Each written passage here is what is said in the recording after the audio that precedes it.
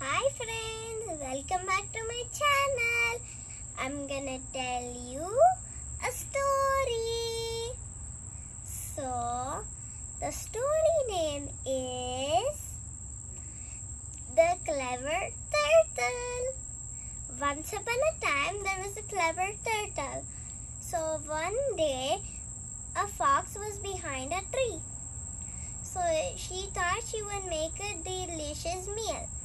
So he found she found a turtle and she talked to the turtle. So she said, Hey turtle,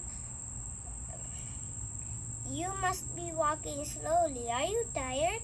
And then the clever turtle said, No, I'm not tired.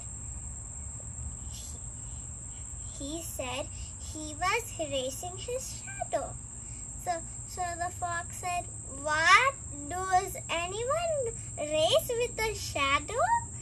Then, then the turtle said, the clever turtle said, Try, try it once. You might get it. So the fox was busy and distracted, running, ra- ra- racing its shadow around and around and around and around. Then, then the clever tur- turtle slowly, slowly ran away.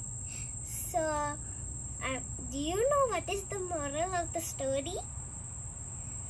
Okay, the moral of the story is be cle- be clever, be clever in your brain.